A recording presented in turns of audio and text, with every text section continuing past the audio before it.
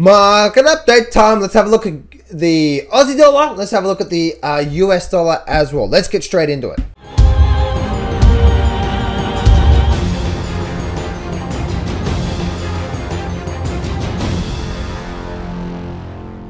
Do not place a trade based on what you're seeing in this video today because trading is risky and it can cause substantial financial loss. There are so many areas you need to become good at to become a good trader. Emotional mastery, chart reading, trading systems, money and trade management.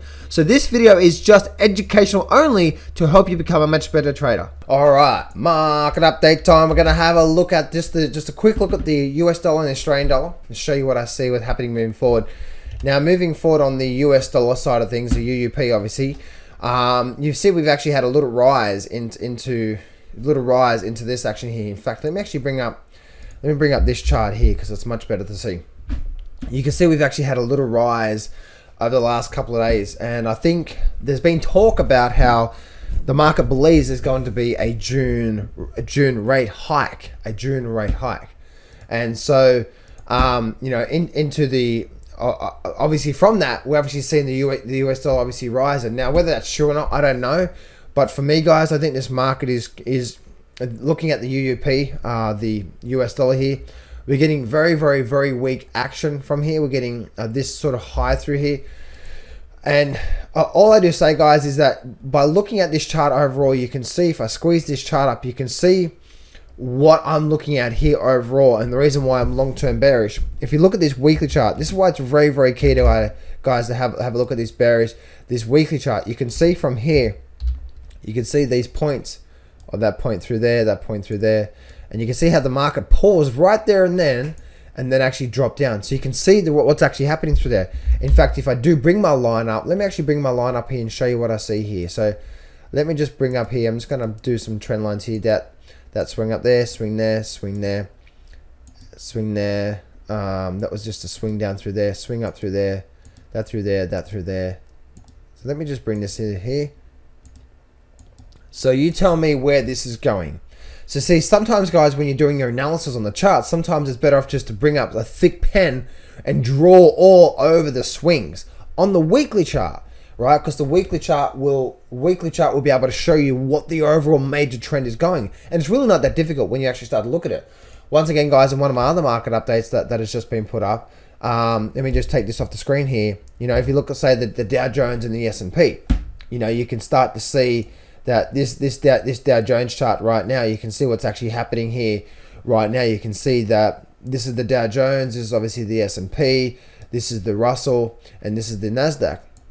And you can see, guys, by looking at these charts, but this is the major charts, and by drawing the trend lines, some guys, when you sometimes guys, when you're drawing the charts and when you're drawing the trend lines, you can see the bigger picture, especially on this Russell chart. Look at that massive head and shoulders on the Russell chart. Now, if you open the Russell chart up, yes, you probably could say this is a bit of a shoulder here, but if you're looking at the flows up and down, up and down, you can see even the Nasdaq is showing major, major, major weakness on the Nasdaq as well too. So that's that's that's just what all that's just what all that's that's all that, that that's all that just matters. You know what I mean?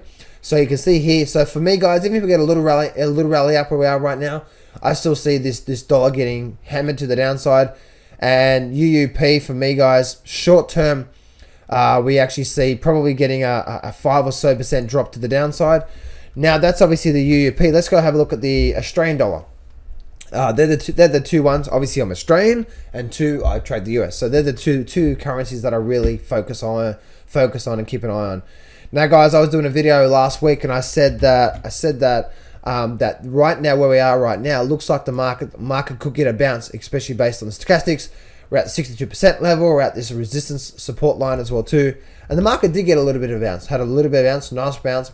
Now we're having a slight little pullback on the overall on the overall charts here. Let's go have a look at the weekly charts here. And once again, guys, if you just look at these weekly charts, and once again, if you bring up your trend lines, bring up your trend lines, and just start to draw the flow. There's a flow there, flow there, flow there, there, there, there, there, and now this is starting to happen. So, guys, when you start to look at that, and obviously, obviously, you can start to see what is actually going on uh, overall uh, from here. And again, guys, if you just do do do do your, your analysis like this, guys, and you can. And that's all that matters. You know, I mean, you want to see these major flows, and that's what it's all about, guys.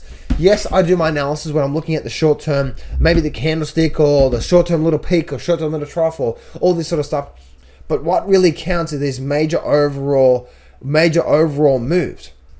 And if you just look at that and read the charts, so what I'm, if yeah, if you look at that and you read the charts, then that's going to give you a much clearer picture of what's actually happening overall than just say looking at, than just say trying to read the short term. You know what I mean? So sometimes doing this is going to help you, and then you got to stand back and say, what's really going on with this chart? See, for me, guys, if I actually show, if I actually show you what's actually going on with this chart, let me actually just bring up here, and um, I'll bring on. Let me just bring on. Uh, all right, so all I see is this, guys, and, just follow, follow with me, okay? And if you just apply this to your own chart, it's really going to help you out. You have this peak, a peak trough, which is a lower trough. We have a, a, a lower peak, a lower trough. We have this lower peak. We have this lower trough, a lower peak, a lower trough. We have this lower peak, a higher trough, a slight higher peak or double top, a lower trough right now. So lower trough. We have this higher peak, and now we're forming this higher trough. So by looking at this, you can start to say, okay, then cool. And this is this is the way that I view my charts. If I say, okay, cool, what's actually happening through here? So firstly, we can see we had this major downward movement through here.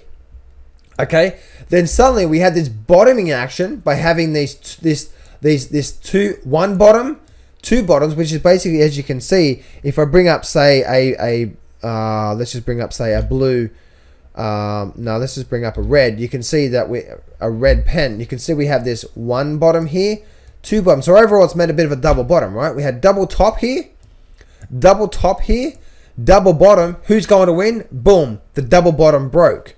So now we have a double bottom, which is a bottoming a bottoming action. Forget the indicators, okay? This is chart reading. Now you have a bottom action a bottoming action, bottom action. Um, you have a big bottom here. Um, sometimes my bottom feels like that. I'm sitting doing these, doing these, looking these charts. Um, a big butt. Um, all right, back to the charts. So we have a bottom action here, and now we form up and formed a, a higher peak and a higher trough. If you're looking at that on a weekly chart, is that more bullish, neutral, or bearish? Right now, it can't be, right? We had a bearish phase through here. This, uh, uh, let's just go back to here. This phase through here is now a bottoming phase, which is a like, which is a neutral phase. And now, as you can see, right, we're starting to get into a bullish phase.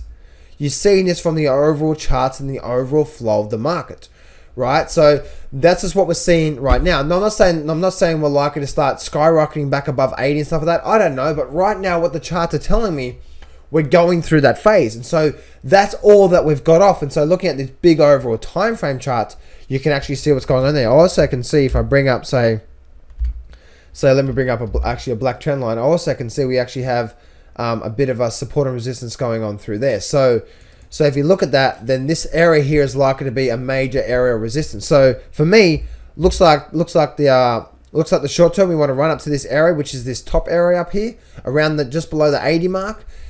And if we do break above that, then yeah, then we can start to see that. And that actually looks like it may want to try and do that. So um, so yeah, we, we just got to keep an eye on that. But by looking at this overall flow and over those mar overall markets, guys, you can see that. So now taking it the screen, it's like, oh, I'm not too quite sure. See, and that's the reason why, guys, it's important to understand the peaks and troughs of flow of the market and use some of the tools that I've just said in this video to help you. So for me, guys, Australian dollar still looks pretty strong for me for, for more upside, and obviously US dollar. US dollar is really, really, really weak. It's just continuing to flow down, flow down. So US dollar down, Australian dollar up, and that's what I see, guys. Um, for the short, or for short, for the short term anyway. I don't know what's going to happen tomorrow. But over the next couple of months, I see US dollar down, US dollar down, Australian dollar. I'm not going to BS you here. Trading is hard. Over my 10 years of trading, I've learned some amazing systems and strategies, and I've put it all in my brand new Grab the Markets by the Balls course. And I'm giving you 100% free access. This whole course is 12 videos long and almost 10 hours of the best systems and strategies that I know. Click on the image below now to get 100% free access right now.